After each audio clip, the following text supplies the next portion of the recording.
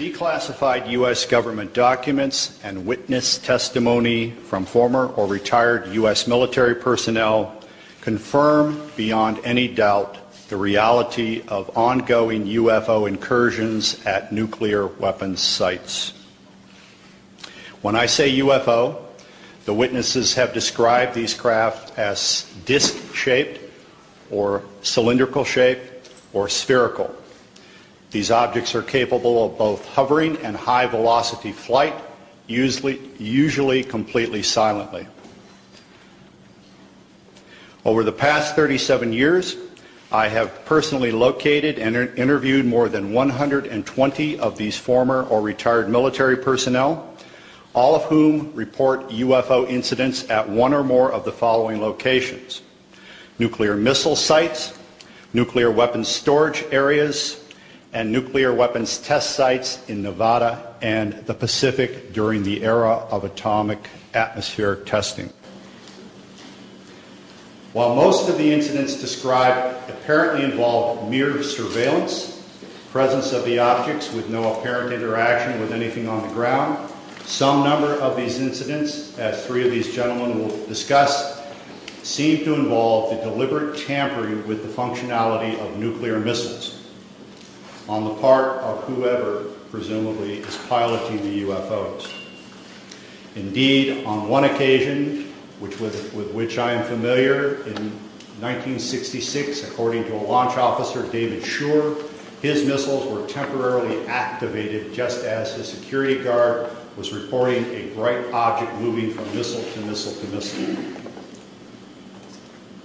Aside from the witnesses that I have personally located and interviewed, other persons have come forward to discuss their involvement in these incidents, including all of these gentlemen. They believe, as do I, that the American people have a right to know the facts, and indeed, people everywhere have a right to know the facts. This is a national security issue, but it is also a need to know issue, a right to know issue. Citizens in every country on earth should be let in on this secret, in our opinion. Importantly, declassified KGB documents and witness testimony from former Soviet military personnel confirm that this type of UFO activity also occurred at Soviet nuclear missile sites during the Cold War era. Given the fact that these incidents have gone on over there, including one incident of their missiles being temporarily activated when a UFO was hovering above the missile base, identical to what occurred here, I think we can rule out that who, whoever are piloting these craft are either American or Russian.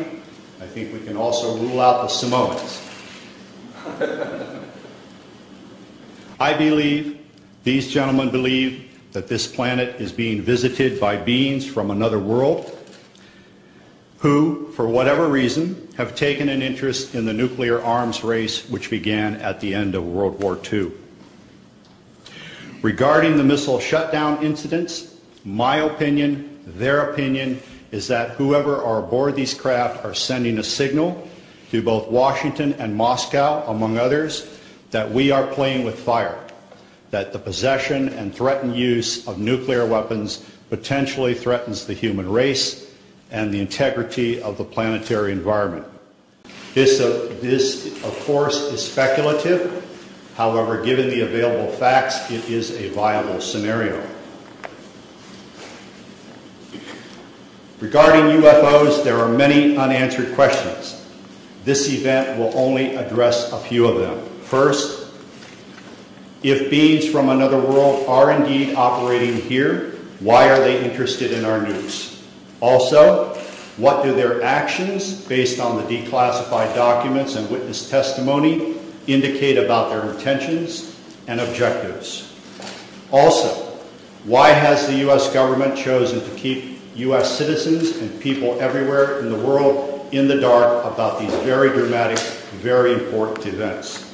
And finally, isn't it time for the truth to be revealed, not only to U.S. citizens, but humans everywhere? I'm now going to turn over the proceedings to these gentlemen who will introduce themselves Following our statements, there will be a question and answer period. We will also make ourselves available for extended interviews following the main event. Mr. Salas.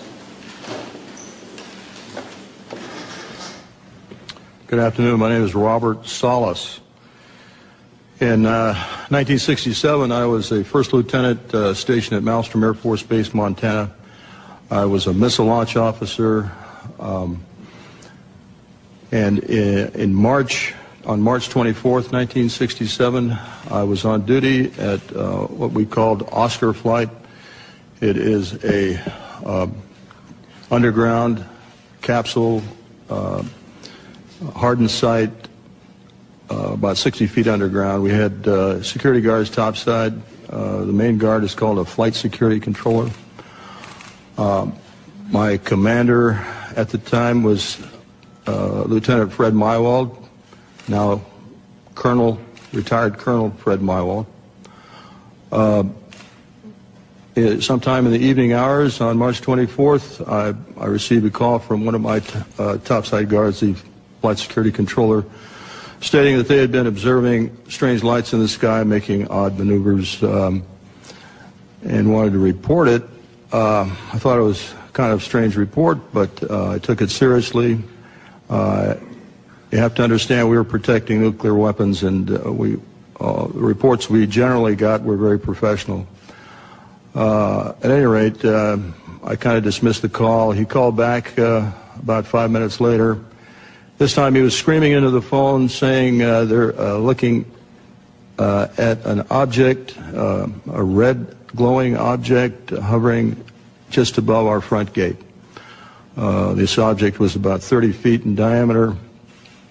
Uh, he couldn't make out too much of the details of the object, only that it was pulsating and, and he had all the guards out there. He was very frightened. Uh, wanted me to give him direction. I think I said something like, make sure nothing comes inside the perimeter fence. Uh, he immediately hung the phone up.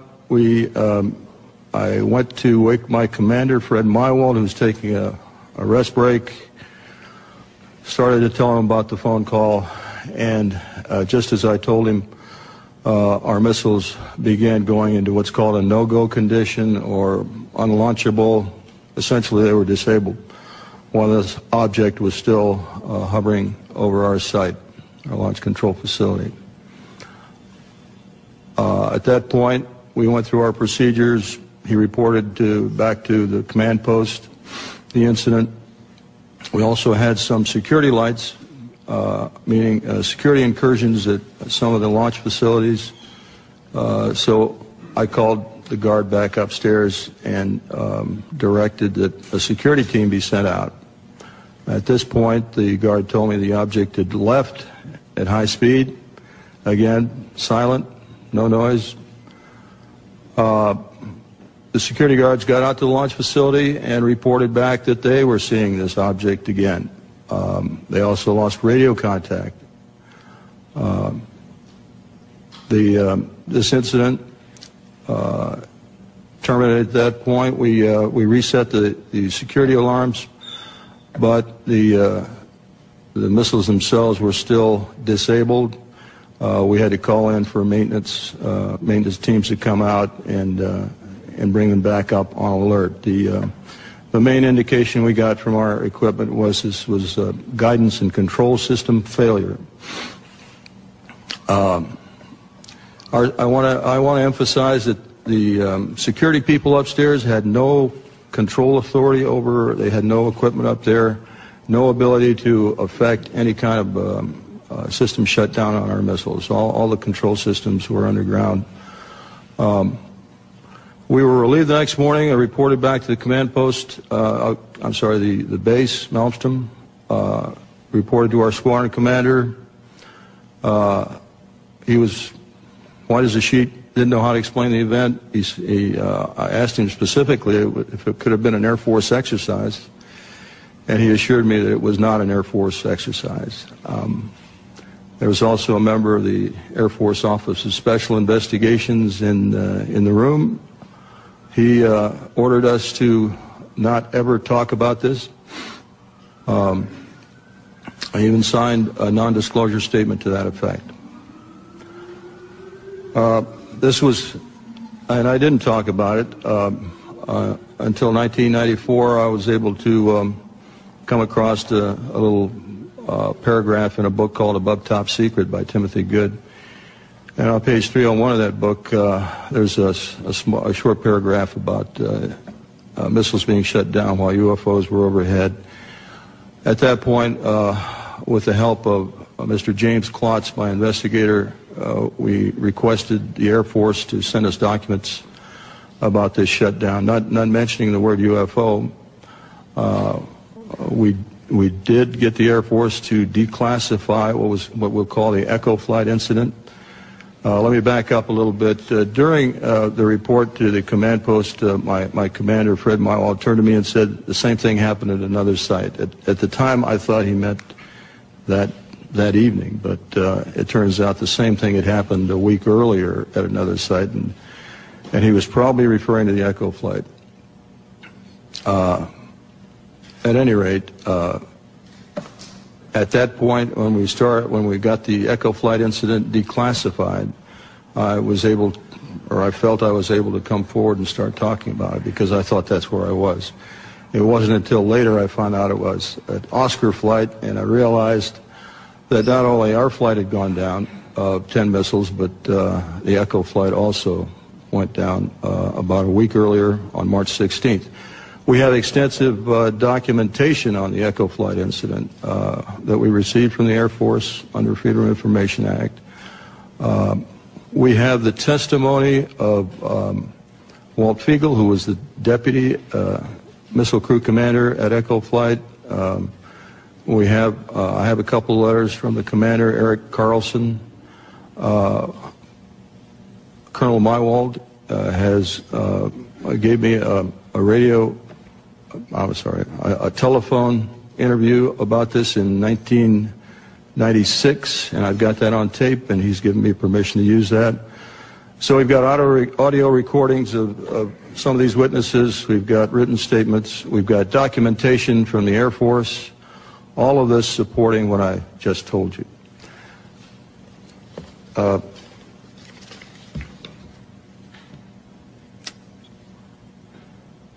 I'll have more to say a little bit later about um, where I think we should go from here, but right now I'll turn it over to the next speaker.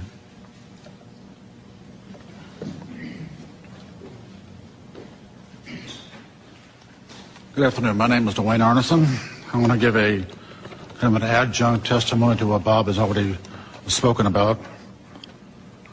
After graduating from college with degrees in physics and math, I entered the Air Force got a commission and served 26 years as a communication electronics officer in positions all over the world, including Vietnam. My highest clearance held was top secret crypto special compartment information talent keyhole. For those that know clearances, you got to be almost squeaky clean to get that. Back in 1967, I was officer in charge of the communications center at the 28th Air Division in Great Falls, Montana. I was also the crypto custodian. I was a top secret control officer for the division, and I passed out nuclear launch authenticators. In March of that particular year, I can clearly recall a message coming through my communications center which basically said what Bob has already talked about, that a UFO did in fact shut down several missile silos in Montana. Not being a missile type, I didn't know Oscar flight from Echo flight, so I couldn't relate to any of those details. But the fact was that a missile, missiles were shut down by them. Later on, in mid-70s, about 1975, I was commander of a radar site in Maine, which was adjacent to Loring Air Force Base. Periodically, my security cop and I met with the SAC security police. And on two occasions that I can recall distinctly, they told us that UFOs were seen over the nuclear weapon storage areas at Loring Air Force Base, which was a SAC bomber base, as some of you may well know. I don't know what the details were. I don't know if any uh, nukes were damaged or deactivated. I never saw a report on that, so I really can't say. That, that is history. After retiring from the Air Force, I went to work for Boeing as a computer systems analyst. Bob didn't mention this, but one of my first supervisors at Boeing was Robert Kaminski. He has since passed away. He was the engineer selected by Boeing to go out and investigate the UFOs, the, the missiles that were shut down. He living close by where I lived in Washington State. We got together frequently on Saturday to, to discuss UFOs and other topics. And he says, Arnie, those things were perfectly clean and they did not go down by themselves. He then went on to say that halfway through the investigation, the Air Force sent Boeing a message which said, stop the investigation and do not, repeat, do not send us a report. He told me that personally on, on two or three different occasions, and no, uh, no hesitation at all. In conclusion, I've studied UFOs for over 60 years, believe it or not, and I am convinced that somebody out there is trying to send us a message. If I knew who they were, I probably would not be here. Thanks for your time.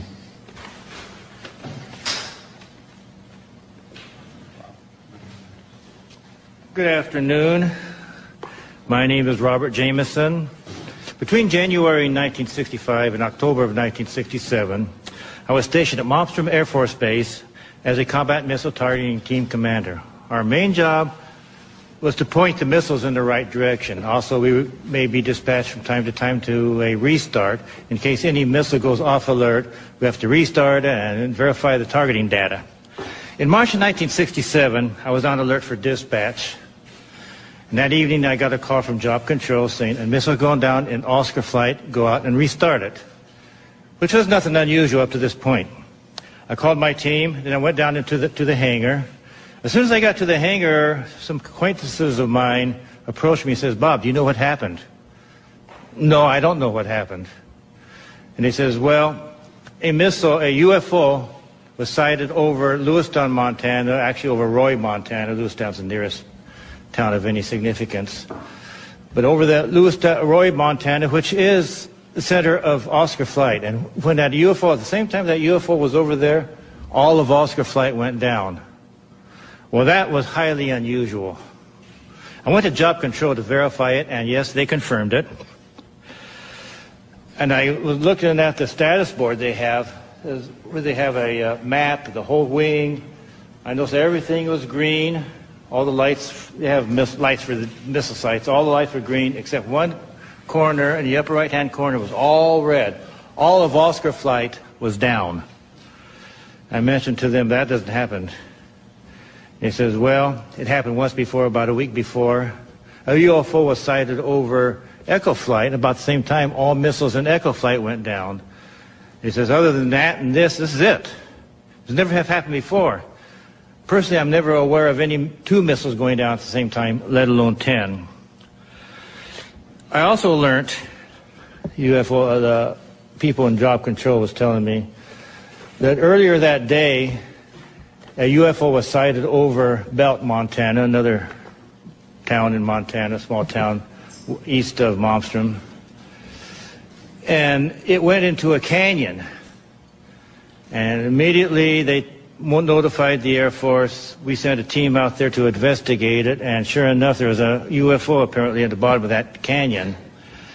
Job Control told me, go over to the uh, emergency command post they have set up in the colonel's briefing room. I had access to that location. I went over there. The room was too crowded to really gain anything. I did hear radio contacts with a team out on the field mentioning lights at the bottom and everything, but I didn't, uh, couldn't get too close enough to really find out what was going, going to happen.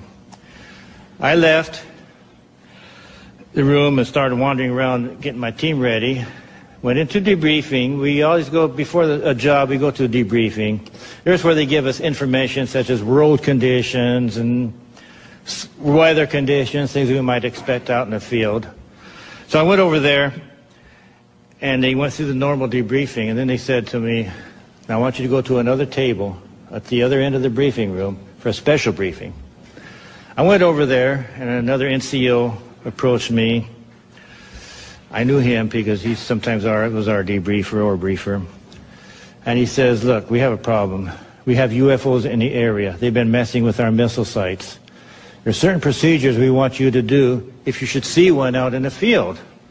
And he proceeded to tell me what to do. If we're out on the road, we see a UFO, we do not go to the launcher, but instead to the nearest launch control facility. Also, we call job control and let them know what we're doing.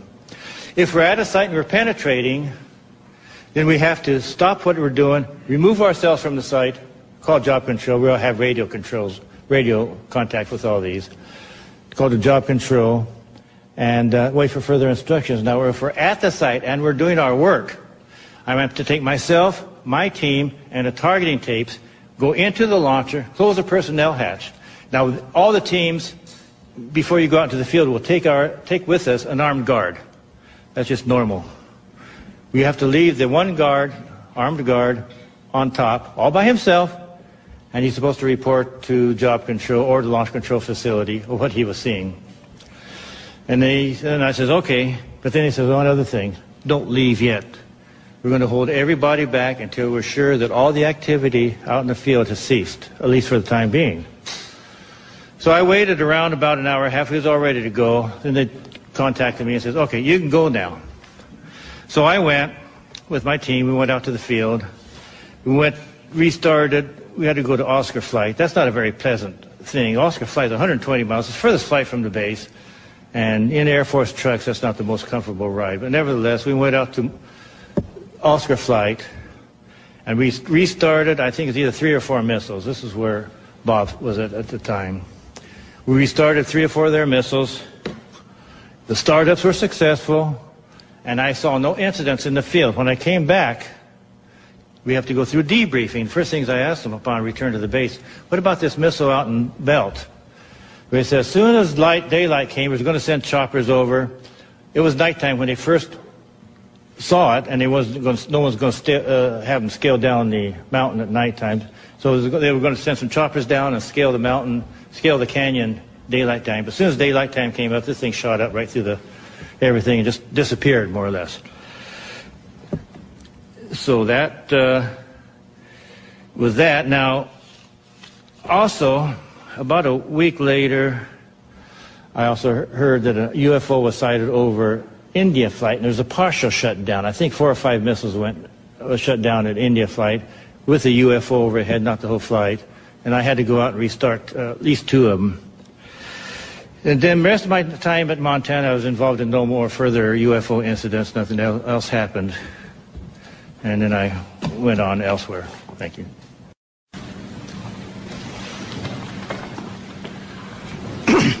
Good afternoon. My name is Charles I. Halt. I retired from the U.S. Air Force in 1991 as a colonel. During my military career, I was base commander of two large installations, and at the time of my retirement, I was in the Department of Defense Inspector General's office with total inspection oversight of all services and all service agencies. In 1980, I was reassigned from the Pentagon to RAF Bentwaters as a deputy base commander. At that time, Bentwaters was one of the largest tactical fighter wings in the world. We had the two base complex, Woodbridge and Bentwaters in England, and four FOLs in Germany, and two additional standby bases. In December 1980, early in the morning, several of our security policemen discovered strange lights in the forest in East Anglia, just outside the back gate of RAF Woodbridge. Three patrolmen, Sergeant Penniston, Airman Burroughs, and Airman Cabansag, actually were dispatched into the forest and approached a craft. They reported it being triangular, approximately three meters on a side, dark metallic in appearance with strange markings. They observed it for a period of time and it very quickly and silently vanished at high speed. Initially, I was not aware of all the details. I was only told of strange lights, and I was sure there was a logical explanation. Two nights later at the family Christmas party, we were interrupted the on-duty flight commander for the security police squadron, Lieutenant Bruce England, came and approached the base commander and I. He was white as a sheet. He said, it's back. We said, what's back? He said, the UFO. Well, We still were, I should say, non-believers at that point. Since my boss had to do the presentations, I was tasked, unfortunately, to investigate. So I went home and changed clothes. I really expected to find a logical explanation. I took several security policemen with me, a disaster preparedness NCO who took an APN-27, a Geiger counter, and a camera. I also had my small cassette recorder I carried everywhere when I was on duty. Uh, I was taken to the supposed site. We found indentations approximately an inch and a half deep, approximately six to eight feet on a side, and radiation of eight to nine times normal background radiation. Not enough to be dangerous to somebody, but significant. We also found broken branches on the trees.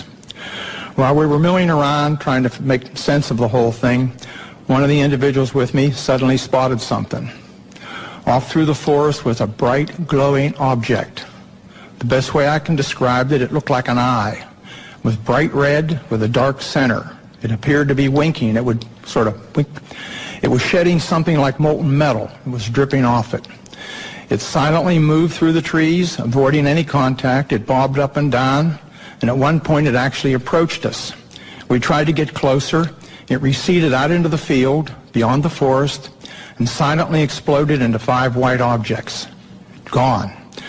So we went out into the field looking for any evidence because something had apparently been falling off it. And we, we found nothing. But while we were searching around in the field, one of the people with me noticed some objects in the sky to the north. There were three or four objects in the north, brightly colored, changing from elliptical to round and moving at very high speed and sharp angular movements as though they were doing a grid search. While we were watching them, somebody else noticed to the south there were two objects just sort of hovering in the sky. One object approached us at very high speed, best guess is three to 5,000 feet, somewhere in that neighborhood, stopped directly overhead and sent down a concentrated beam at our feet. It was about one foot in diameter. The best way I can equate it is sort of a laser beam. We stood there in awe. Was this a warning? Was this an attempt to communicate? Was this a weapon or just a probe? Just as suddenly as it appeared, click, it disappeared. We stood there, ah, really concerned. About that time, we noticed the other object to the south was sending down beams, about a mile, mile and a half away over Woodbridge Base. Uh, we had three different radios with us, the police radio, the security police radio, and I had the command net. All three radios were functional we were talking to control centers. They were constantly breaking up and we had great difficulties communicating, but we were able to discern that the, on the police and security net that some of those beams were either falling into or near the weapons storage area and there's a great deal of concern. Uh, it really bothered me at the time. I, every time something of significance happened that night, I kind of clicked on my little tape recorder and recorded it so I'd have a record of it for the next day. Unbeknownst to me, a copy of that was released by one of my coworkers several years later, and hence there was a lot of publicity. My superiors at the time were informed what happened. I briefed my boss. I played the tape for him. He listened intently. Uh, he was aware of the incident because he was monitoring the night before on the radio. He and several others were. He took the tape to the 3rd Air Force staff meeting the following Wednesday. 3rd Air Force was the Air Force headquarters at that time in England. Played it for General Bazley, the commander and staff. They all sat silently. Uh, the decision was uh, it happened off the base, so it's a British affair. In other words, they were loath to get involved. So my boss came back and threw me the tape recorder, and I said, well, what do we do, boss? He said, uh, get with Squadron Leader Moreland, who was the British liaison officer, and do a report. It's uh, their problem, not ours. Gosh, here I am kind of caught in the middle, and I'm a junior guy here. Whoa, why did I ever get involved? Well, Squadron Leader Moreland was on vacation in Wales at the time. He came back and he was quite upset that he was in the middle of the thing too. So he said, well, write a memo. So I wrote a, I shall call it, cleaned up memo, just kind of unexplained lights, just to kind of tickle their, get them to come out and investigate and look into the thing. Well, I gave it to Moreland. Unbeknownst to me, Moreland sent a copy to his superior, 3rd Air Force. I didn't know that at the time. The copy to MOD was apparently buried in the files. Days turned into weeks and weeks turned into months, and I almost forgot about the incident, to be honest with you. Gave up. Uh, several years later, one of my coworkers was playing a copy of my tape at cocktail parties and caught somebody's ear. Somebody started asking questions, and he said, oh, Halt wrote a memo. The next thing we know, there was a Freedom of Information request came into uh, to Bentwaters. Of course, there was no official copy. We didn't have word processors in those days. We used typing manifolds in the old typewriters. We were just transitioning. And the only copy was an onion skin that I had in my desk. So my boss went back and said there's no official record of it. Well, somebody else found out the 3rd Air Force had a copy. Well, Pete Bent, a good personal friend of mine, was the acting 3rd Air Force commander, called me and he said, hey, Chuck, I've got a copy of this memo. We're going to have to release it. I said, please, burn it. Your life and mine will never be the same. You and I don't need this. Well, need I say more? The tape came out, unbeknownst to me. The memo came out, and a lot of publicity. But the event certainly happened. Now, some things have happened since then. I was very innocent at the time and believed what I was told. I asked the OSI if they had an interest, and I was told, oh, no, not at all. Wrong. Uh, I found out later that the airmen were, how shall I say, pretty harshly interrogated that were involved. I have never been debriefed. I also found out later that the tire operator, both the tire operators at Bentwaters saw an object and picked it up on their Bright 2 radar and watched it. I found out that the tire operator in the weapons storage area actually saw something, as did a comm man who was working there and saw it go down into the forest near us. And also several other people around the base saw it. Uh, it's kind of interesting. What did we see? I have no idea what we saw that night. I do know it was under intelligent control, and in my personal opinion, it was either from another dimension or extraterrestrial.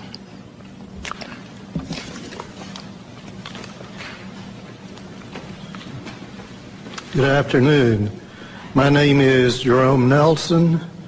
From 1962 to 1965, I was an Atlas F ICBM Deputy Missile Combat Crew Commander assigned to the 579th Strategic Missile Squadron in Roswell, New Mexico. Sometime during the winter of 1963 through 1964, while I was on alert duty in the Launch Control Center at Atlas Site 9 west of Roswell, my top side security guard called me on the telephone and reported a bright light that is a, that is, a fully illuminated round object was hovering silently over the missile silo and shining a light down onto it. I could tell that he was serious and his voice revealed he was very frightened. After perhaps five minutes, the object left the vicinity. Even before it left, I called the base command post at Walker Air Force Base and reported the incident. I was concerned the object would somehow sabotage the missile. I was surprised by the response I received, being told that the command post would take on the unauthorized excursion under advisement.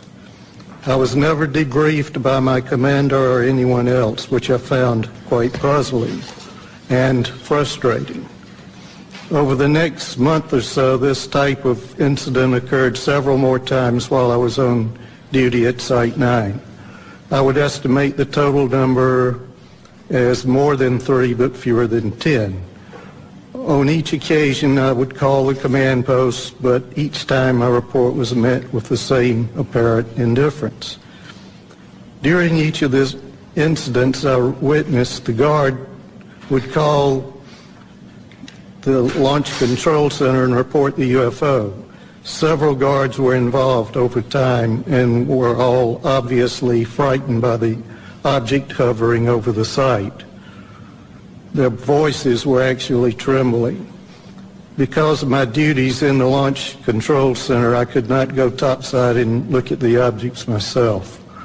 Only decades later that I did I learn that at least one missile facility technician Bob Kaplan had been ordered to report to the Office of Special Investigations on base and make a report about the similar incident he had witnessed at Site 9 during the period. At the time, this development was kept from me and my missile commander. I do not know whether anyone else was interviewed by the OSI, but I wasn't. That's my report afternoon, uh, ladies and gentlemen. Uh, my name is uh, Patrick McDonough, and uh, I'm here today uh, to relate an experience that happened to me in September of 1966. It's 44 years ago, but that experience was so significant, uh, it was basically burned in my memory. I haven't forgotten about it at all. But I am getting older, and I did want to put this experience and relate it on the record. Um, a little background on me. I had uh, uh, enlisted in the Air Force in Berkeley, California uh, in first week of November 1962. Uh, at the onset of the Cuban Missile Crisis, it was going. I felt patriotic. And uh, up to that time, I had been studying engineering in college. I had three years of engineering. And the Air Force, considering my background, uh, trained me to be a geodetic surveyor. Uh, and I was assigned to 1381st Geodetic Survey Squadron in Orlando, Florida. Uh, we uh, basically, uh, uh, in 1965, we moved to Warren Air Force Base uh, in Wyoming. on average, I would spend nine, ten months a year on temporary duty, surveying for latitude and longitude at our missile sites and aircraft uh, uh, bases uh, for positioning uh, missile and aircraft guidance systems. Uh, basically, the squadron's mission was to provide precise uh, geographical coordinates for a missile or an aircraft inertial guidance system so that it would, the missile or aircraft would know exactly precisely where it was at when it takes off while the intelligence agencies would provide the targeting information. Uh, in early of uh, September of 1966, uh, myself and two other airmen, a uh, uh, Airman First Class Al Kramer and a Airman Third Class Charlie Coates, uh, we were temporarily assigned to Malmstrom Air Force Base and were ordered to provide or perform the initial geodetic uh, surveys for the last 50 missile sites there. There already was 150 uh, Minuteman uh, one sites, and we were uh, putting in the last uh, 50 uh, for the wing. And basically, we were assigned to the Site Activation Task Force they call SATAF. it was a Boeing, really, the prime contractor. we were given a government truck, no radio, anything in it. it uh, I was the chief of party. I was the observer uh, on our small three-man uh, team. Al was the recorder. Charlie was, uh, we were trying to train him both in observing and uh, recording. Uh, we arrive, normally would arrive at a missile site at about in early evening. we'd set up our instruments and basically what I was doing was the star observation to provide uh, precise uh, latitude and longitude. On the night of this incident that happened, uh, we were completing a series of uh, what we call celestial astro-azimuth observations uh, southeast of Conrad. And I was doing the observing, uh, Al was recording, and Charlie was assisting now with the chronometer on the time hacks as I tipped on Polaris. Uh, the unusual thing about this uh, missile site I was at was that the blast uh, hatch of the silo was open. And that was very unusual. Uh, normally when I'd go to these missile sites, even though they were not activated yet with a missile, they were always closed. Uh, the monoliths were there. We do four monoliths and um, do a precise uh, quadrangle uh, and the work we did was very precise. It uh, uh, involved a lot of, it was basically all using star shots. And um, so here's a site that we arrive at and the blast hatch is open. And uh, we're nearing completion of the star observations. We had been to the other three monoliths and I was at the monolith at the, uh, next to the hatch. Uh, and it was uh, probably about 1, 1.30, uh, and a unidentified flying object came from the north and stopped right over us.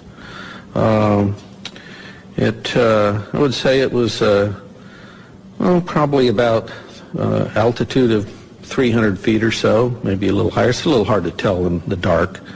Uh, it, it, was round. It had, uh, uh, I would estimate its diameter at about 50 feet, mm, kind of like a pretty large, you know, like a wingspan of a B-52, some, something in that range. It's pretty large. It seemed to have pulsating lights going around it, uh, and it had a uh, white light from the center looking down into the silo. Uh, there was no wind, there was no noise. Uh, still only stayed there maybe 20, 30 seconds at most. It, and then uh, I, I, just remember I, am staring up at the stars, right? I'm a pretty keen observer of, uh, of what's uh, above me here in uh, the celestial sphere up there.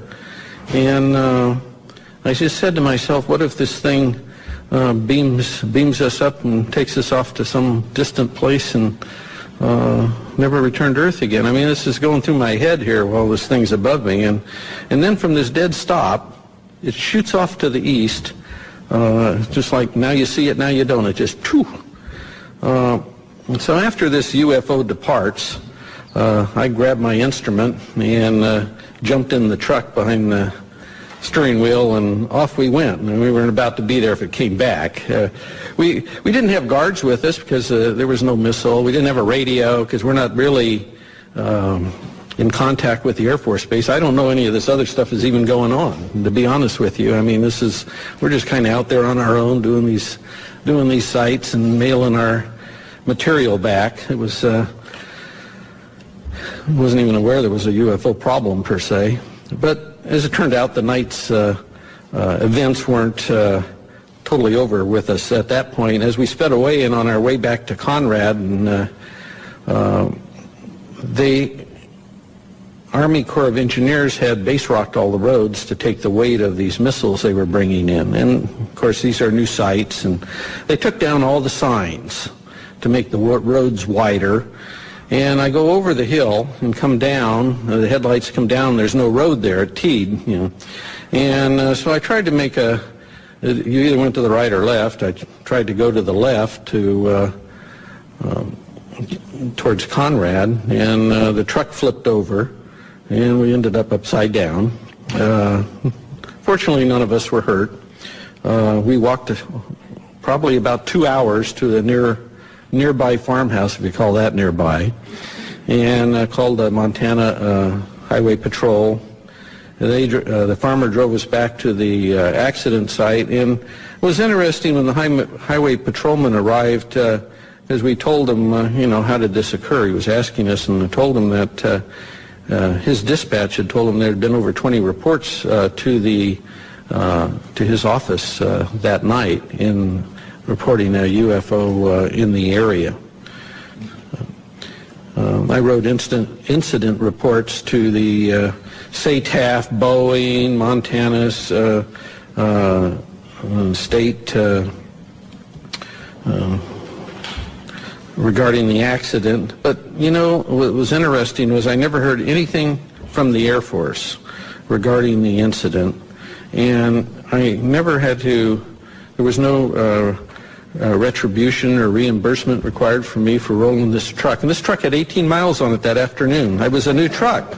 Okay, so they, nothing. I heard nothing. So this is this part was good because I didn't really want to buy the truck.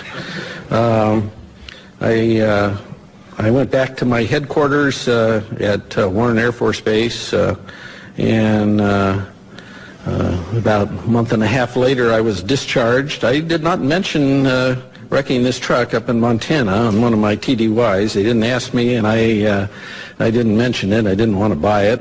And, uh, but I, I, must say now, my four years that I had with this Geodetic Survey Squadron, uh, I had worked on the latest missiles and aircraft in, in the U.S. Air Force inventory. And uh, I, I, worked everywhere uh, on these guidance systems. And uh, we, or I never saw anything in the Air Force inventory that could perform like this UFO did. It's, uh, I don't know what it was, but uh, uh, we sure didn't have any. I never saw anything like it. Um, and I'd like to thank uh, all of you for being here today and uh, thank the National Press Club.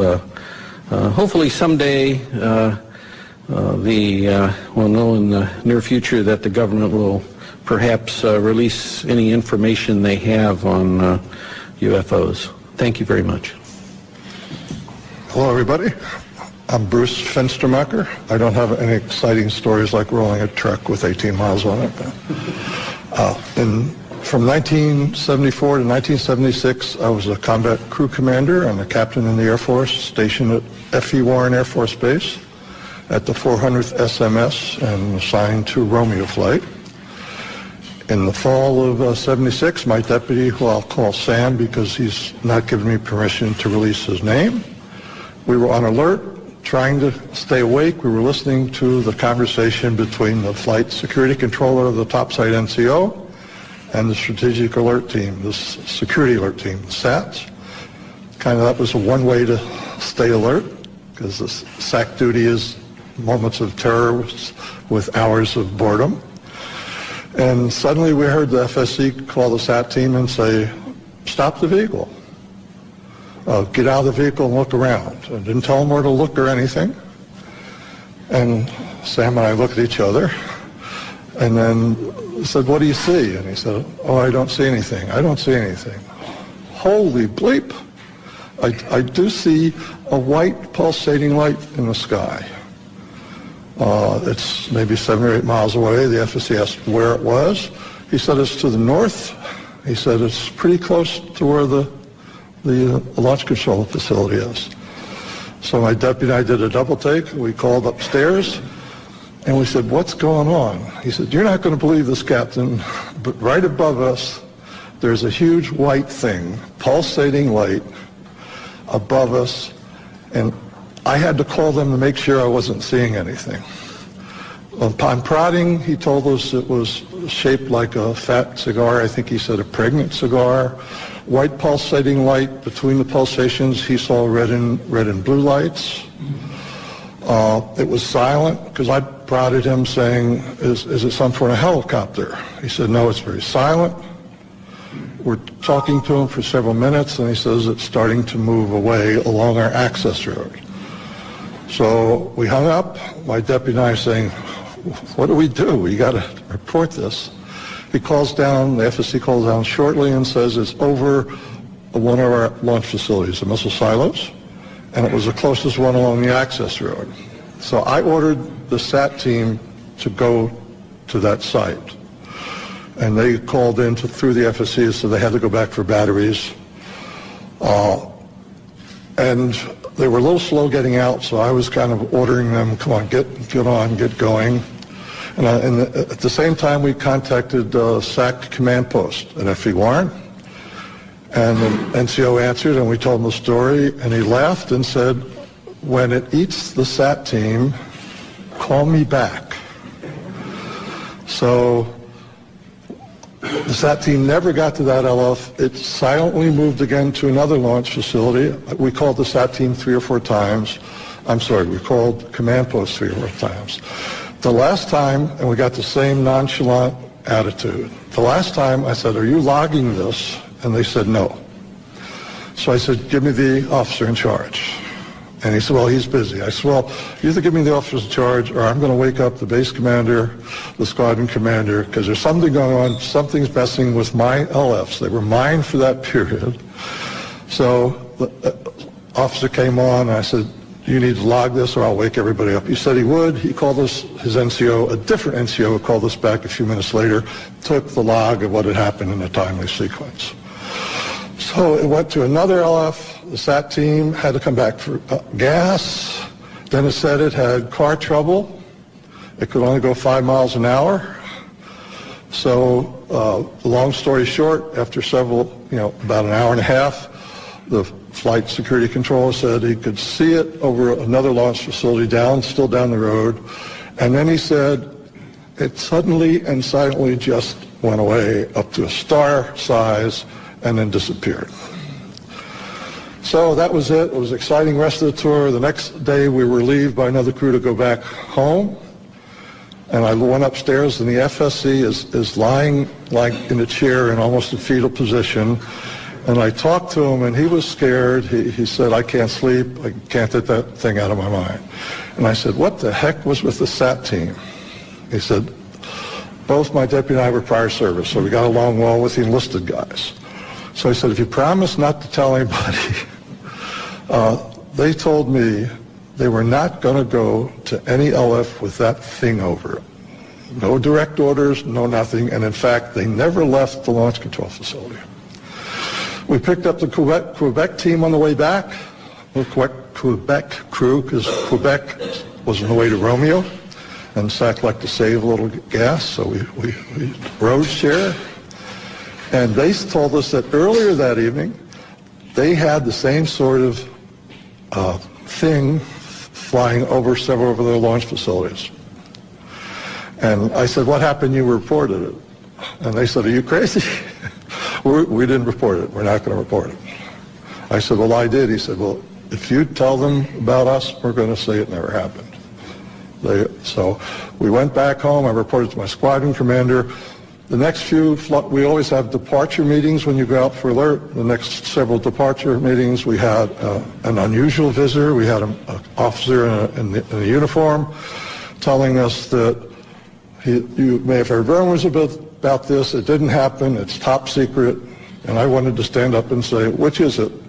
Didn't it happen or is it top secret? So that's my event. I think Mr. Salas comes back. Thank you. Uh, what you have heard here today is evidence of a phenomenon. It sounds fantastic, and it is fantastic. Um, we presented this evidence in the public interest of open government. Our signatures on affidavits in the press kit that you have attest to the truth of our statements. Our evidence is now public domain. Uh, the real question is what is the public going to do with it, um, this testimony? It has been a general practice of the media to scoff at these kinds of stories, make light of such testimony.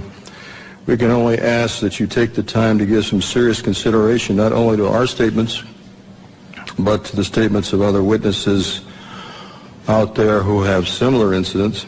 There is also documentary evidence uh, that helps support what we have said. We hope you will take the time to uh, at least take a look at those, uh, research this a little bit, and um, if you do, I think um, you'll come to the same conclusions that uh, we have. Uh, that is that the UFO phenomenon is real, not imaginary. Uh, there's current excessive secrecy in our government uh, surrounding this phenomenon. Unknown aerial objects have in fact been observed over many of our nuclear weapons bases and other nuclear facilities, and in some cases the appearance of these objects uh, coincided with compromising our, the operational readiness of our nuclear weapons. Um, although each of us might have different opinions about the meaning and intent of these incidents, I think we can all agree that the tampering of, with nuclear weapons is a national security concern. Uh, this is Air Force official policy on UFOs. Uh, this is dated uh, 2005, but I believe it is current policy. I'll just read one part of it. It says, no UFO reported, investigated, and evaluated uh, by the Air Force uh, was ever an indication of threat to our national security. That is clearly misleading. It is false based on our testimonies. The, this statement, uh, the decision to discontinue UFO investigations was based on an evaluation of a report prepared by the University of Colorado in 1969. I believe this was the infamous Condon Committee study uh, there is substantial evidence to show that study was superficial and biased. In particular, the Echo and Oscar incidents I spoke about were never investigated by the Condon Committee, even though their principal investigator was well aware of these incidents. Obviously, the testimony uh, given here today conflicts directly with uh, that Air Force policy statement. We ask that our uh, government uh, answer to the public about the obvious discrepancy between our testimony and that of the current statement. Indeed, we demand an answer based on the foundation of our democracy that says, and I want to paraphrase Franklin Delano Roosevelt, President Roosevelt, the people should be strong enough and well enough informed to maintain the sovereign control over its government. Finally, I want to say, I think I speak for every one of us here, um, uh, I have the utmost respect for all the men and women in the U.S. Air Force. I graduated from the Air Force Academy. Um, I thoroughly enjoyed being a part of the Air Force, and I was honored to serve my country in that way. Our disagreement and challenge to the Air Force has nothing to do with the people of the Air Force. It has to do with official Air Force policy. Uh, and I think uh, they are deliberately withholding the facts, uh, not just uh, in what you've heard here, but uh, you know, continuously since 1969. And by doing so, they're not allowing the people of this country to engage in the decisions uh, regarding events that are clearly uh, national security issues and uh, concern to all of us. Uh, we're simply asking for the truth. Thank you for your attention. At this time, we're going to take questions. Mr. Hastings will take it from here. If you would, if you would go to the microphone over here and uh, uh, tell us uh, what media you represent. Thank you.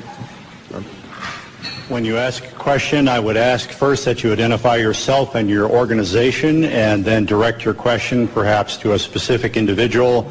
Uh, that person will have to find his way to the mic, so there will be a bit of delay. Yes. Uh, Pat McCune, the Daily Trojan, University of Southern California. We just did a big event here. And uh, LucasArts, Mr. George Lucas himself. I uh, wanted to commend all of you. You guys are soft-spoken, but you carry a big stick, and that's exactly the way to approach this issue. I remember when UFOs first got going, it was like a laughing matter until uh, they started revealing themselves in the deserts, Arizona, Colorado, and so forth and so on.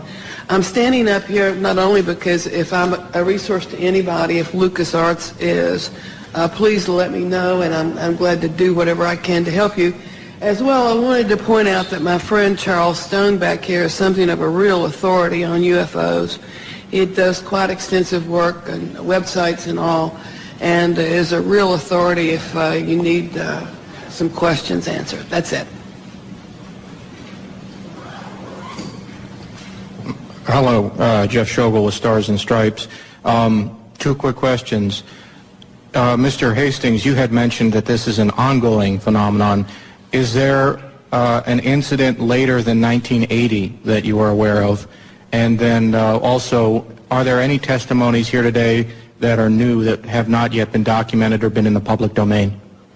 Um, this is a cross-section of the witnesses who've come forward.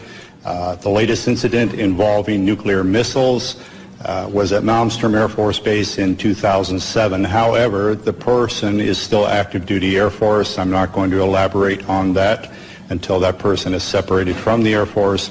Uh, another incident occurred at the Nellis Air Force Base, Nevada, Area 2 weapons storage area. Uh, a series of incidents, the latest being in April of 03, in which there were unidentified aerial objects maneuvering near the weapons bunkers at that facility. More recently, civilian sighting reports in Orange County, California, at the uh, Naval uh, Seal Beach Naval Weapons Station, a series of bunkers, again containing nuclear weapons. Uh, there were local media reports of multiple sightings in March of 09 near this weapons storage facility. Uh, this is ongoing. Uh, this is the tip of the iceberg.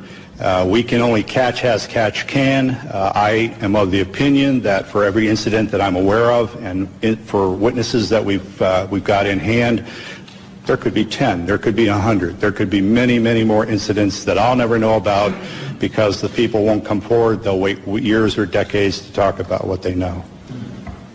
And is uh, anything that has been said here not been in the public domain before? I'm sorry? Any, uh, anything that has been said here, I know I've heard mis- uh, the incident that Mr. Halt referred to, I've seen Mr. Salas.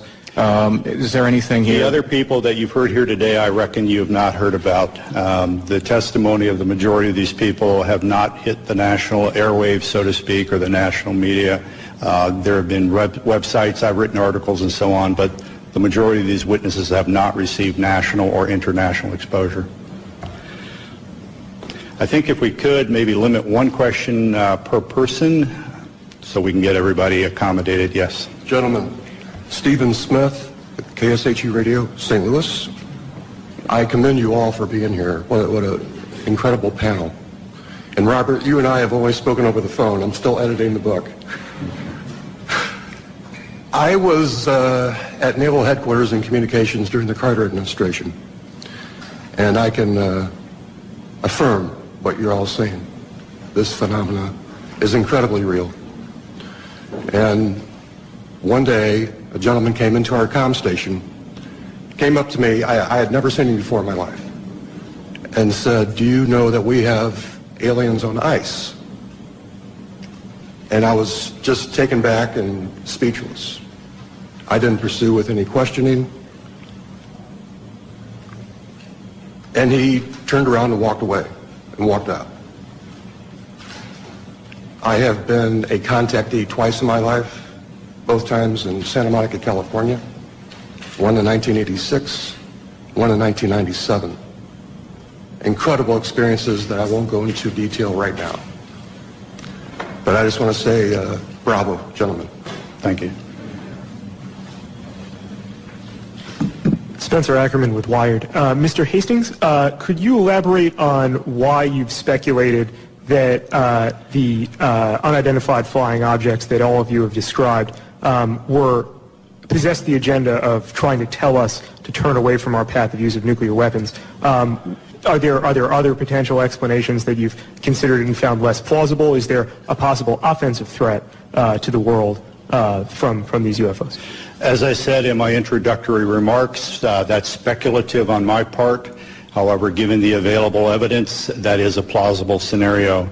Uh, we can clearly say, based on radar data, which are empirical, not anecdotal, that these objects have been tracked since the early 1950s, if not earlier, traveling up to 7,000 miles per hour, making right-angle turns at high rates of speed, instantaneously hovering, reversing course.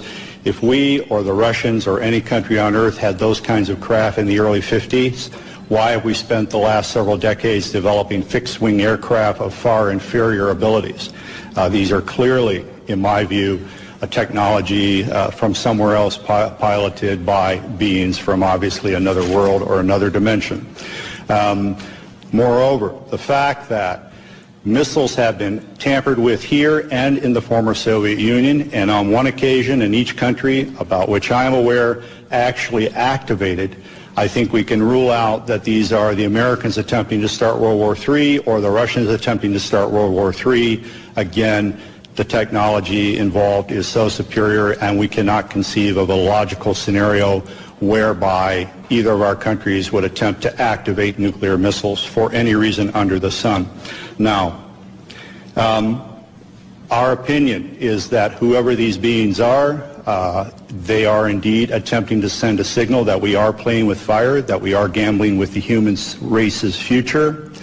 Uh, there are other possible scenarios. I have half jokingly said from time to time, maybe they're planning to invade Earth and they, they don't want to inherit a radioactive environment when they do. Now, I don't believe that's what's going on by any means. I don't think humankind is in jeopardy from whoever they are and what their intentions are, except we will have our minds expanded.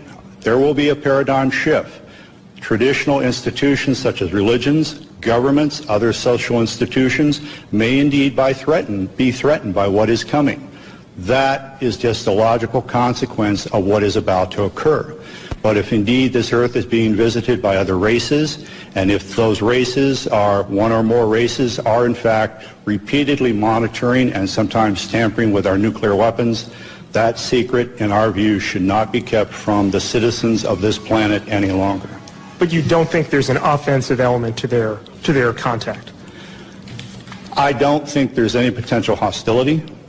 Um, except again to closed-minded people. Sure. Uh, this is to the question of hostility. Uh, there, uh, it, what you've heard up here, and especially in my case, uh, they could have done a lot more damage, uh, in permanent damage to our weapon systems, um, and, and, they didn't. All, all of these weapons, in, in my case, were brought back up on alert. Um, it, it, took a day or so, but uh, everything was fine. Um, if they wanted to destroy them, uh, with, with all the uh, powers they seem to have, I think they, they could have done that job. So uh, I personally don't think this was a hostile intent. Hi, I'm Charles Stone with the Tiger News Service. I didn't ask my friend to come up and uh, make that statement for me, but uh, appreciate your patience. Uh, I've published internationally in the history of weapons of mass destruction, including going back to the 1940s and these incidents go back to, the, to at least that, that period of time uh, that uh, U.S. government military facilities that were doing high-tech development in that period of time also reportedly at least had UFO uh, uh, visitors of various types. Uh, and that there, are, there is archaeological evidence that there have been what we would call that, that there's evidence of what was, was almost certainly uh, atomic uh, warfare in, in ancient history, at least to, to twice. And uh, also that I'd like to mention that one of our biggest and most powerful government agencies uh, was founded in part to, to monitor UFO uh, activities. That was the National Security Agency in the, in the late 1940s. Did you have so a question, sir? That, that, are you aware that, uh, that, that the, the, NSA was partially founded to uh, be, to, to monitor UFOs. I've heard rumors to that effect, and also the Central Intelligence Agency. In my view, those rumors aren't supported by any authoritative documentation at this point. I would not be surprised at the same time if that were ultimately proved true by historians, but that's as far as I think we can take it at this point. Right. Thank you. Thank you. Hi, my name is John Kelly. I'm a columnist at the Washington Post. Colonel Halt, um, you mentioned that when you went out, you had a, uh, um, a cassette recorder, a Geiger counter. You said a camera. Camera, 35 millimeter camera. Did uh, so? Um, first of all, did you take any photographs? And second, how does a cassette tape uh, made by you, presumably for official purposes, end up at a cocktail party entertaining guests? Okay, two questions. Let me answer the first one.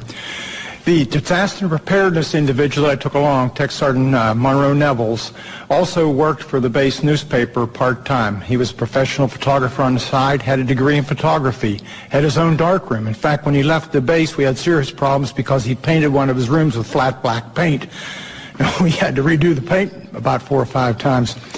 He took numerous pictures, pictures of the indentations, pictures of the broken branches. He tried to take pictures of the objects in the sky. He took the film back home, and it all came out fogged. Unfortunately. Now, he did it in his own darkroom. I used to have a darkroom and dabble in photography too. He could have done it himself. It could have been the radiation, which I have doubts about, or something could have happened that we don't know about. But anyhow, the film all came out fogged. Uh, Sergeant Penniston had a camera. It was not uncommon for the security police on the perimeter to carry cameras because the British have a lot of, we call them bird watchers, people that catch tail numbers and follow the history of airplanes and climb over the fence from time to time, not to do any damage or any harm, but curiosity and try and get close. It's part of a game. So we would, if they did that, we would photograph them inside the fence and turn them over to the British police. Sergeant Penniston took his film to the photo lab and turned it in, and they told him it disappeared. I can't answer that. The other question, what was the other question you asked about the... So did you personally have a camera that were taking I did not. I had the micro cassette recorder. We, uh, keep in mind, we were just in the process of transitioning to word processors in those days, still using the typewriter. Our secretaries were very resistant to getting involved in modern technology. And so what I would do, I carried one in my pocket, a little Lanier, and we had the big Lanier machine in the office. And when I went around the base, I'd note, you know, the fence is damaged here, this needs to be painted, whatever was going on. And I'd come back and give her the tape, and she'd type it up for the staff meeting the following week. So I just thought, well, I'll take the tape recorder along because I don't want to take notes. It's cold and windy, dark. So I took my tape recorder along. It was a little micro cassette one, those little tiny ones. I still have it, by the way. I came back, and after the tape was played at Third Air Force, and I played it for Squadron Leader Moreland and several other people. Ted Conrad, my boss, said, say, make me a copy. So I made him a copy. He put it in the desk drawer, in his desk drawer. He moved on and was replaced. And the gentleman that replaced him thought it was hilarious to play the tape. I didn't know this at the time at cocktail parties. So he was playing a copy. A copy of that copy somehow or other got to a gentleman by the name of Harry Harris, a British uh, barrister or a lawyer. Harry was an uh, amateur ufologist. He and a guy by the name of Mac, uh, Mac, Sa Mike Sachs. I traced this down years later. And a couple of ladies named Brenda Butler, Dot Street, and Jenny Randles, who were writing a book at that time, all got involved, and my tape got out into the public domain, a copy of my tape. What's on the internet now is probably a fifth, sixth, or seventh generation, but it's out there. So does that answer your question? Let me interject that Robert Jamison, the missile targeting officer from Malmstrom in 67, does need to catch a plane, and so if anyone wants to direct a question to him, you'll need to do it in the near term here. Hi, Ledge King with Gannett, Washington Bureau. I have a, three questions, two of which can be answered by raising a, a hand. Uh, the first is, have any of you been contacted uh, in the last month, I guess, whenever this event was being planned, by a government official telling you not to show up or trying to dissuade you? Any of them? Any of you? No. Second question is, um, Mr. Hastings alludes to the fact that there's a message being sent here that we ought to get rid of nukes. How many of you subscribe to that theory? That, that, that the theory that, that you support getting rid of nukes, first of all. I, I don't think he said that.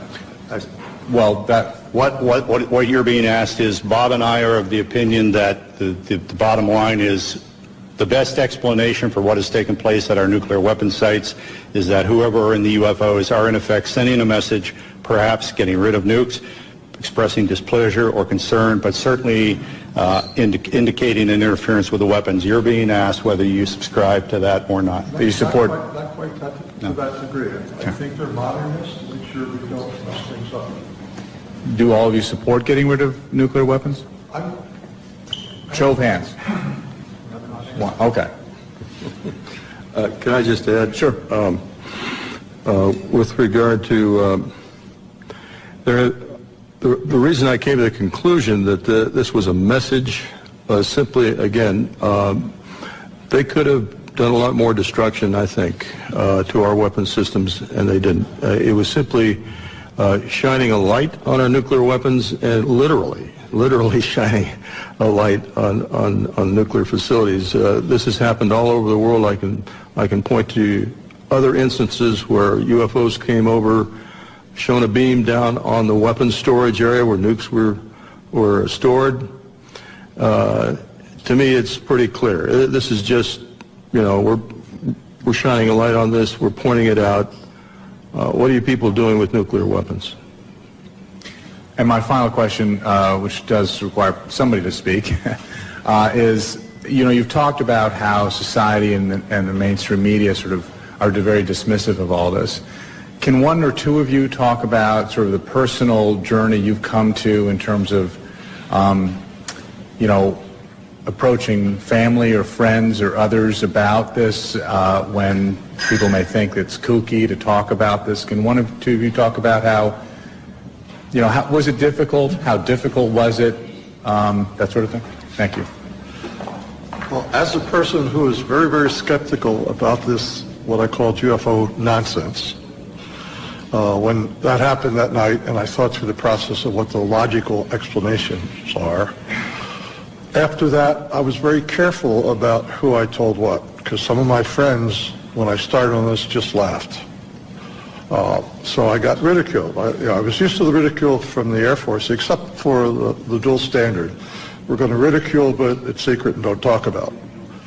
And, and coming out was, was my, I came out a little bit. I, I talked to Robert. I gave him a little bit of the story. I didn't want my name to come out. I was concerned. I don't want to be considered a kook. I don't want to, you know, because I consider not so many anymore, but I consider some of the extremists a bit kooky.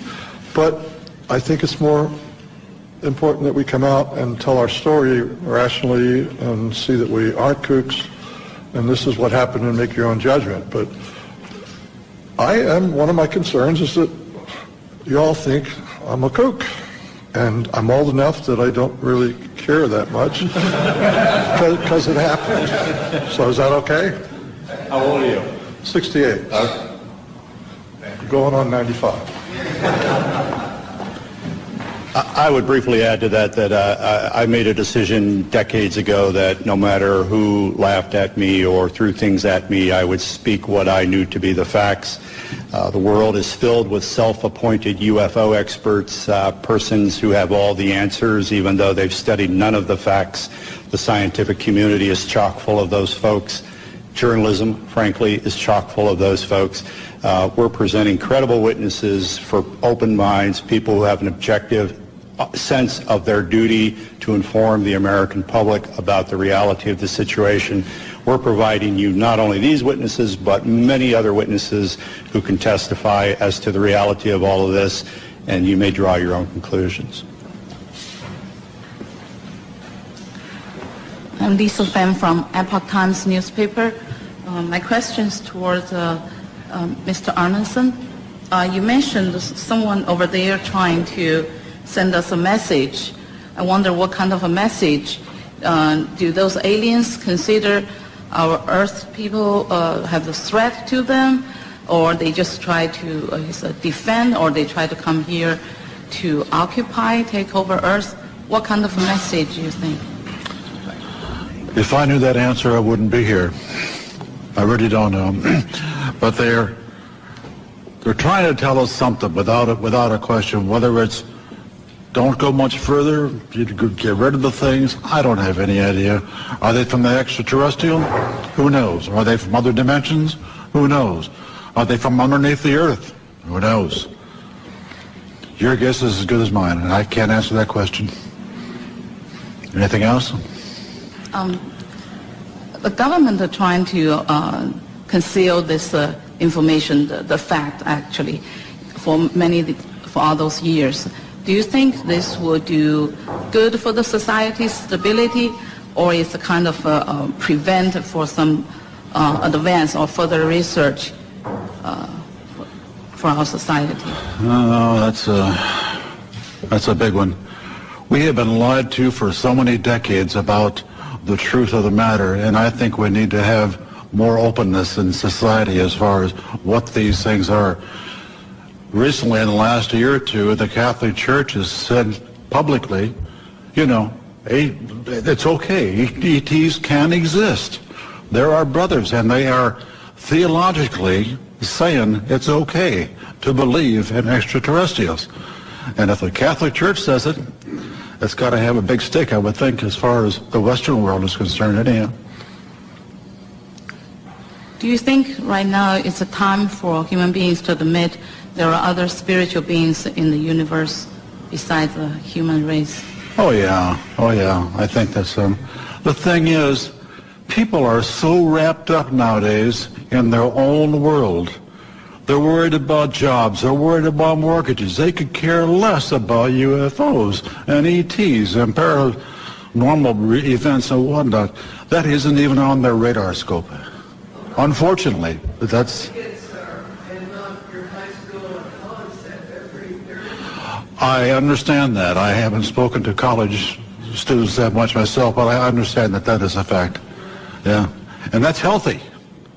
I think that's goodness. Oh yeah. I just wonder. I just wonder what's in the archives in uh, the Vatican, as far as UFOs and things like that are concerned. If that could be released, wow! I bet it would blow the socks off a lot of people. That'd be interesting. Okay.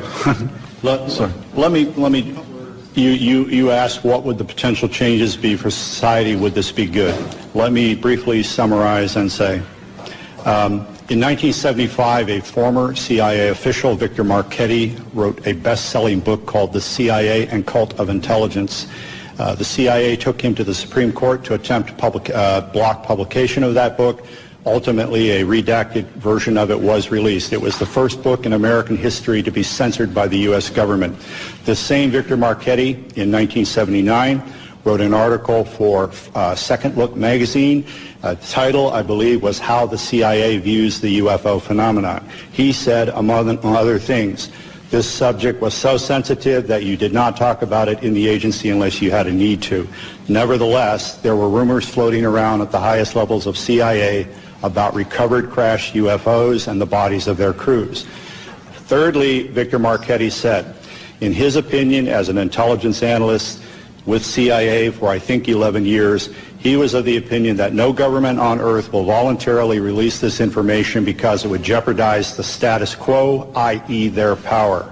Uh, even if there's no hostile intent or implication to the visitation of these beings, if indeed these are extraterrestrials, even if they're not uh, meaning us any harm whatsoever, governments have nothing to gain and everything to lose by admitting the reality of this. And Victor Marchetti's opinion is that this will probably come out you know, by some action on the part of the phenomena, phenomenon itself, which will leave no doubt in anyone's mind, but don't expect Washington or Moscow or any other uh, government uh, to, to volunteer all the reality of all of this. Thank you. I'm Jim Kinane. I'm a defense writer of long standing uh, in this town for Gannett Newspapers, Business Week magazine, and I was senior editor of Air Force magazine. I'm going to ask a question, but I want to contribute something. When I was on Air Force magazine, I was told by an Air Force colonel of long acquaintance that this was real and that we were actually dealing with the aliens. I never had the guts to write. He said, you won't have the guts to write this. I said, no, because I have to confirm it. And you, if you can't tell me how to confirm it, he did give me a couple names, but it didn't pan out. I was like all the rest of the press. You know, I didn't have, I, if I couldn't confirm it, I wouldn't write it. Now, that may mean that we're somewhat cowardly, but at the same time, it means that we're also very careful. I do sympathize with the members of the press who do not write about this, even though I myself am convinced of it by now, because I was one of them once. But now, I have a question contemporary. Uh, two years ago, the Air Force Chief of Staff and the Secretary of the Air Force were dismissed by the Secretary of Defense for, among other reasons, being sloppy in their management of nuclear weapons. We transported an armed one somewhere. We sent components overseas and so forth. This shook up the Air Force. I want to ask you gentlemen in the aggregate or individually, do you think that this evidence of malfeasance ranks up there with not telling the public about alien or UFO intrusion at nuclear sites. Is there, is there an equation there?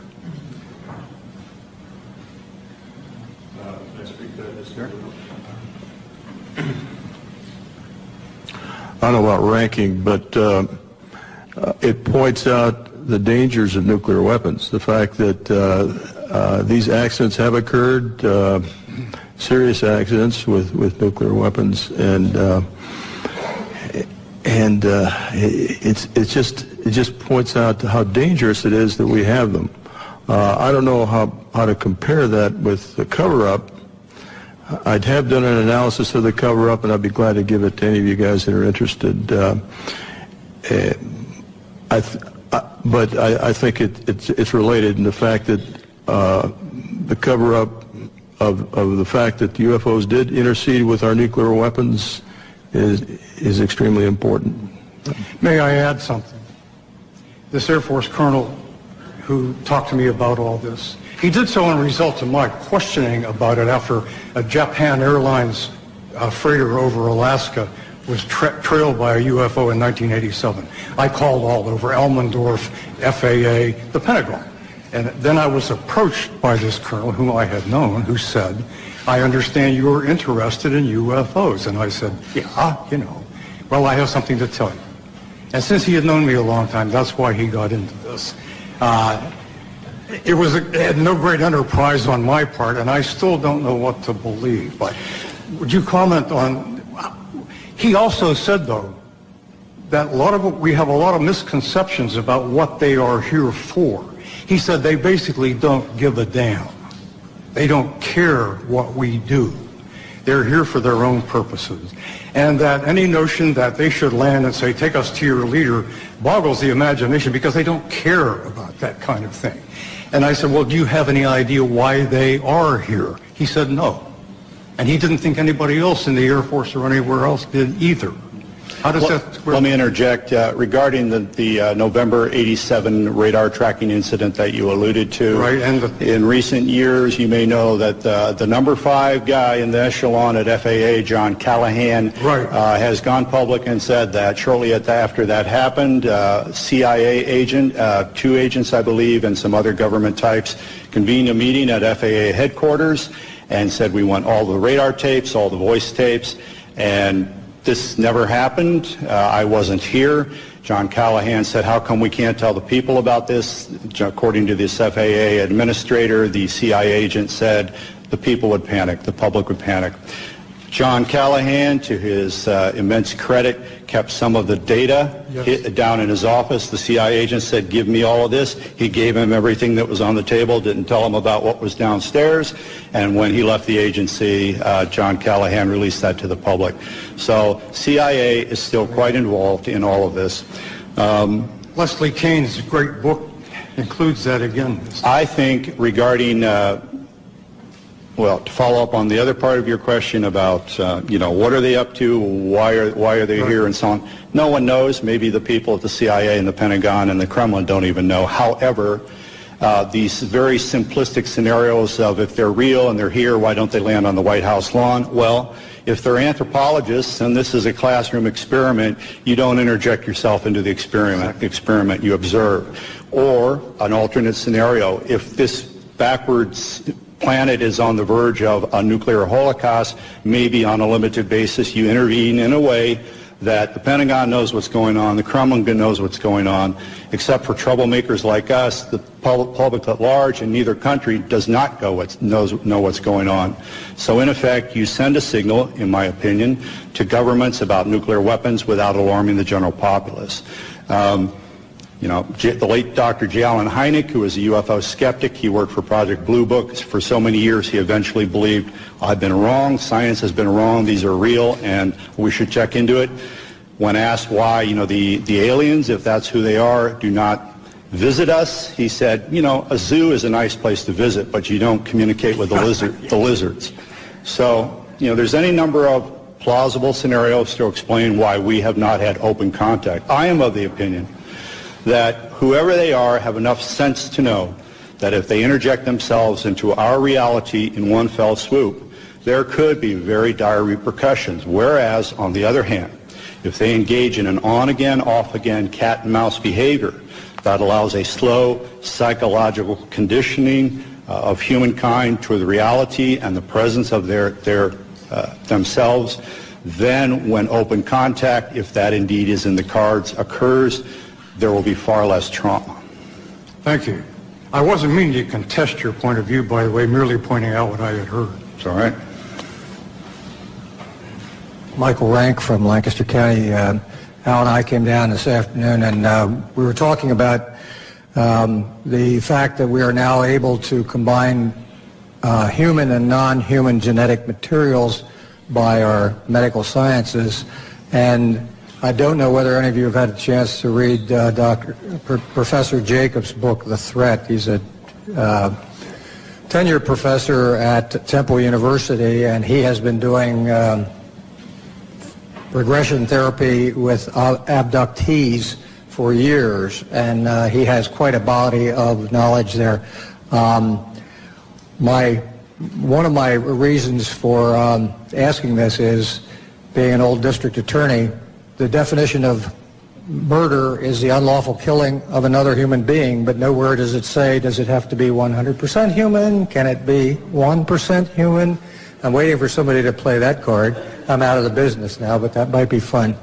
The, um, The uh, other issue is the toadies in government who are uh, following their orders to lose the files in Freedom of Information Acts, I think might take a totally different view as to uh, their attempt to preserve their jobs if they realize that there might be an argument made that there's a First Amendment violation by suppressing the truth about these things that have been found and seen and so forth.